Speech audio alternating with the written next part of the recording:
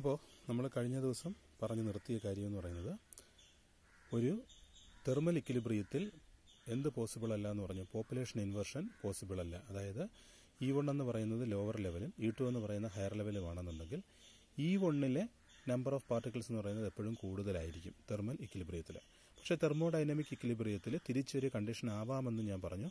ആ കണ്ടീഷന് പറയുന്ന പേരാണ് പോപ്പുലേഷൻ ഇൻവേർഷൻ എന്ന് പറഞ്ഞു. ഇനി നിങ്ങൾ മനസ്സിലാക്കേണ്ടുന്ന ഒരു കാര്യം എന്ന് പറഞ്ഞു കഴിഞ്ഞാൽ ഈ ഇ വൺ ഇ ടു എന്ന് പറയുന്ന രണ്ട് ലെവൽ വെച്ച് മാത്രം നമുക്ക് ലേസർ ഒരു പ്രാക്ടിക്കലായിട്ട് ഉണ്ടാക്കാനായിട്ട് പറ്റില്ല. കാരണം നിങ്ങളിത് സ്റ്റാർട്ട് ചെയ്യുന്ന സമയത്ത് എൻ ടു എന്ന് പറയുന്നത് എപ്പോഴും കുറവായിരിക്കും. എൻ വൺ എന്ന് പറയുന്നത് എപ്പോഴും കൂടുതലായിരിക്കും. അപ്പോൾ ഫോർ എക്സാമ്പിൾ നിങ്ങൾ ഓപ്റ്റിക്കൽ പമ്പിങ് ഉപയോഗിക്കുകയാണെന്ന് വിചാരിക്കുക. ഓപ്റ്റിക്കൽ പമ്പിങ് ഉപയോഗിക്കുന്ന സമയത്ത് നിങ്ങൾ ആ ഒരു സിസ്റ്റത്തിൽ നിങ്ങൾ ഇലിമിനേറ്റ് ചെയ്യുന്നു ലൈറ്റ് വെച്ച്. അപ്പോൾ എൻ വൺ കൂടുതലാണ്. സേ അതൊരു തൗസൻഡ് ഉണ്ട് മറ്റേതൊരു ഫൈവ് ഉള്ളതെന്ന് വയ്ക്കുക ഈ തൗസൻഡ് എണ്ണം ഉള്ളത് കൊണ്ട് തന്നെ സ്റ്റിമുലേറ്റഡ് അബ്സോർപ്ഷൻ ആദ്യം ഫേവർ ചെയ്യും. അത് മുകളിലോട്ട് പോയി കഴിഞ്ഞാൽ ഓട്ടോമാറ്റിക്കായിട്ട് സ്പോണ്ടേനിയസ് എമിഷൻ സ്റ്റാർട്ട് ചെയ്യും. അപ്പോൾ അതുകൊണ്ട് തന്നെ പോപ്പുലേഷൻ ഇൻവേർഷൻ നോർമലി രണ്ട് ലെവൽ വെച്ചും കൊണ്ട് പറ്റില്ല. അപ്പോൾ നമ്മൾ സാധാരണഗതിയിൽ ലേസറിന് വേണ്ടുന്നത് മിനിമം മൂന്ന് ലെവലാണ് അതാണ് നമ്മളിവിടെ ത്രീ ലെവൽ ലേസേഴ്സാണ് നമ്മൾ ആദ്യമായിട്ട് കാണാനായിട്ട് പോകുന്നത്. ഓക്കെ ത്രീ ലെവൽ ലേസേഴ്സ് എന്ന് പറയുമ്പോൾ നിങ്ങളിവിടെ നോക്കുക. ഇവിടെ ഇത് ഗ്രൗണ്ട് ലെവൽ ഈ ഗ്രൗണ്ട് ലെവൽ എന്ന് പറയുന്നത് നമ്മൾ ഈ വണ്ണം എന്നെടുത്തു അതിന്റെ നടുക്ക് നിങ്ങൾക്ക് ഇവിടെ ഒരു ലെവൽ കാണാം.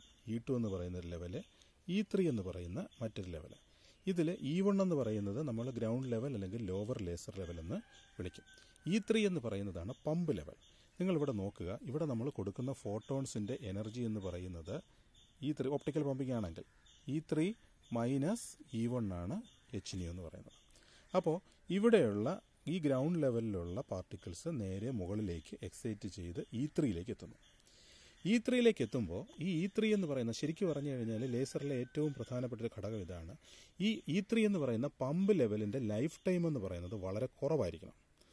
നമ്മൾ നേരത്തെ പറഞ്ഞ പോലെ ten ten to the power minus eight ഒന്നും ആവാൻ പറ്റില്ല. അതിനേക്കാളും വളരെ കുറഞ്ഞ ഒരു few hundred nano seconds maximum ഉള്ള ഒരു ഇതായിരിക്കണം. ഫ്യൂ നാനോ സെക്കൻഡ്സ് ആണെങ്കിൽ അത്രയും ഉത്തമം.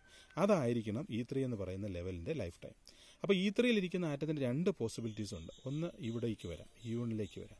അല്ലെങ്കിൽ അതിനേക്കാൾ കുറവാണ് ഈ ടൂവിലേക്ക് വരാമെന്നുള്ളത് അപ്പോൾ ഇവിടെ നമുക്ക് കണ്ട് ഒരു കണ്ടീഷൻ എന്ന് പറഞ്ഞു കഴിഞ്ഞാൽ ഈ ടൂവിൽ നിന്ന് ഈ ത്രീയിൽ ത്രീന്ന് ഇത് പോവേണ്ടത് ഈ വണ്ണിലേക്കല്ല ഈ ടൂവിലേക്കുള്ള ട്രാൻസിഷൻ പ്രോബബിലിറ്റി കൂടുതലായിട്ടുള്ള സബ്സ്റ്റൻസുകൾക്ക് മാത്രമേ ലേസിങ് ആക്ഷൻ പോസിബിളായിട്ട് വരുള്ളൂ. കാരണം ഇതൊരു ക്വാണ്ടം മെക്കാനിക്കൽ ഫിനോമിനയാണ് അതുകൊണ്ടാണ് theoretically you can make lasers with anything but practically there are only few lasers അതിന്റെ കാരണം ഇതാണ്. ഇവിടുത്തെ ഈ രണ്ട് കണ്ടീഷൻ ഇ ത്രീയിൽ എന്ന് പറയുന്നത് വളരെ കുറഞ്ഞ ലൈഫ് ടൈമേ ഉണ്ടാകാൻ പാടുള്ളൂ. ഇ ടുവിലേക്ക് വളരെ പെട്ടെന്ന് അത് വരണം.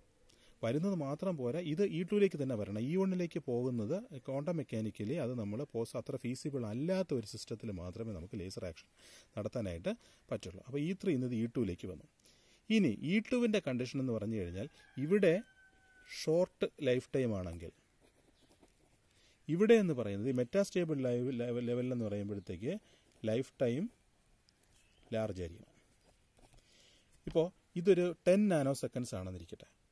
ഇവിടെ ഒരു വൺ മൈക്രോ സെക്കൻഡാണ് ലൈഫ് ടൈം എന്ന് വിചാരിക്കുക. ടെൻ നാനോ സെക്കൻഡ് എന്ന് പറഞ്ഞാൽ നിങ്ങൾ ആലോചിക്കുക ten into ten to the power minus nine okay അല്ലെന്നുണ്ടെങ്കിൽ ten to the power minus eight second ഇവിടെയാണെന്നുണ്ടെങ്കിൽ one micro second എന്ന് പറയുമ്പോഴത്തേക്ക് ten to the power minus six അതായത് ഇതിനേക്കാളും നൂറിരട്ടി ലൈഫ് ടൈം ഇതിനുണ്ട്.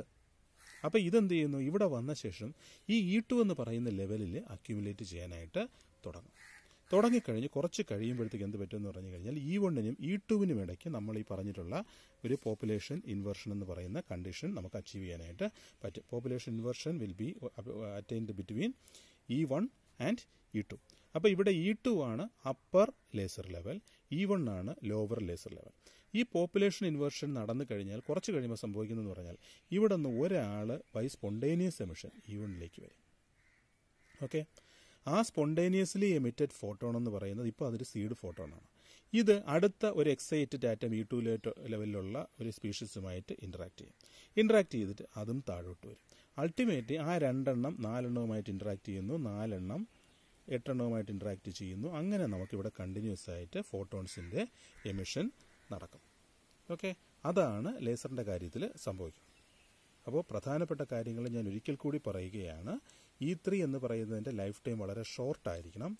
ഇ ടുവിന്റെ ലൈഫ് ടൈം എന്ന് പറയുന്നത് ഇ ത്രീയുമായിട്ട് കമ്പയർ ചെയ്യുമ്പോൾ വളരെ കൂടുതലും ആയിരിക്കണം. അങ്ങനെ ഒരു കണ്ടീഷനിൽ മാത്രമേ ലേസിംഗ് ആക്ഷൻ പോസിബിൾ ആവുള്ളൂ. പക്ഷേ ഇങ്ങനത്തെ ഒരു ത്രീ ലെവൽ ലേസറിന് ഒരു വലിയ കുറേ ഡിസഡ്വാന്റേജസ് ഉണ്ട്. ഒന്നെന്ന് പറയുന്നത് സപ്പോസ് ഒരു ഹൺഡ്രഡ് ആറ്റംസ് ആണ് ഈ വൺ ലെവലിലുള്ളതെന്ന് വയ്ക്കുക ഈ ഹൺഡ്രഡിൽ ഒരു തൊണ്ണൂറ്റൊമ്പത് എണ്ണവും ഈ ടുവിലെത്തി അത് കഴിഞ്ഞ് ഈ പ്രോസസ്സ് വളരെ ഫാസ്റ്റാണ് ഇവിടെ അമ്പത്തൊന്നും ഇവിടെ നാൽപ്പത്തൊമ്പതും ആയി കഴിയുമ്പോൾ എന്ത് പറ്റി? പോപ്പുലേഷൻ ഇൻവേർഷൻ ഇല്ലാതായി. എന്ത് പറ്റുന്നു? ലേസിങ് ആക്ഷൻ താനെ നിൽക്കുന്നു. അപ്പോൾ അത് കഴിഞ്ഞ് കുറച്ച് സമയം കഴിഞ്ഞ ശേഷം മാത്രമേ വീണ്ടും പോപ്പുലേഷൻ ഇൻവേർഷൻ വരുന്നവരെ ലേസിങ് ആക്ഷൻ ഉണ്ടാവില്ല.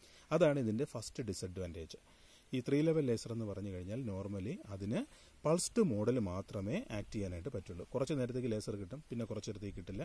അത് കഴിഞ്ഞ് ഈ ടൂര് വീണ്ടും പോപ്പുലേഷൻ ഇൻവേർഷൻ അച്ചീവ് ചെയ്ത് കഴിഞ്ഞാൽ വീണ്ടും നമുക്ക് ലേസിംഗ് ആക്ഷൻ ഒരു പൾസ് കിട്ടും.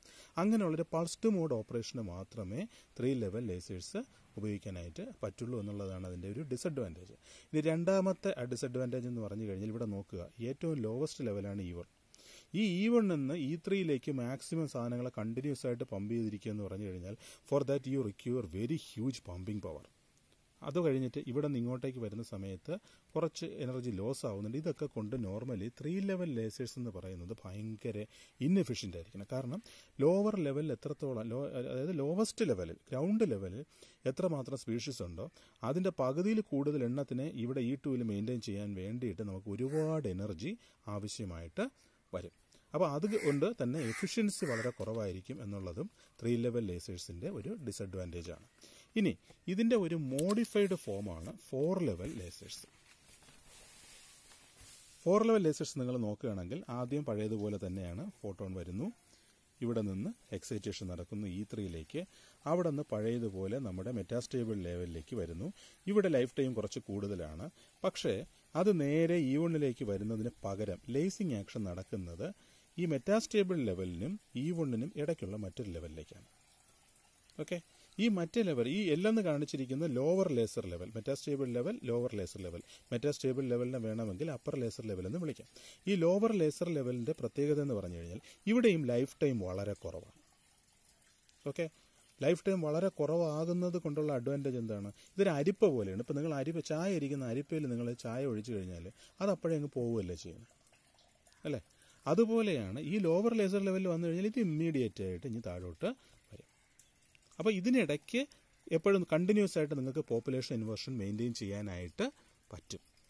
കണ്ടിന്യൂസ് ഓപ്പറേഷൻ അതുകൊണ്ട് തന്നെ പോസിബിൾ ആണ് എന്നുള്ളതാണ് ഒരു ഫോർ ലെവൽ ലേസറിന്റെ അഡ്വാന്റേജ് ഓക്കെ ക്ലിയർ ആയല്ലോ? അപ്പോൾ ഇവിടെ ഞാനിപ്പോൾ കാണിച്ചത് സൗകര്യത്തിന് വേണ്ടിയിട്ട് ഈ പമ്പിംഗ് എന്ന് പറയുന്നത് ഫോട്ടോണിക് പമ്പിംഗ് ആയിട്ട് കാണിച്ചതേ ഉള്ളൂ. പക്ഷേ ഡിസ്ചാർജ് പമ്പിംഗ് എന്ത് വേണോ. അപ്പോൾ ഈ ഒരു സംഗതിക്ക് കുറച്ചുകൂടെ എഫിഷ്യൻസിയും കൂടുതലായിരിക്കും.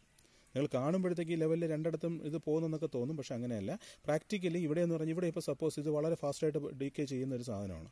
ഒരു ഒരു നാനോ സെക്കൻഡിൽ ഡീക്കേ ചെയ്യുന്നു. ഇവിടെ ten to power minus six ആണ് മൈക്രോ സെക്കൻഡ് ആണ്.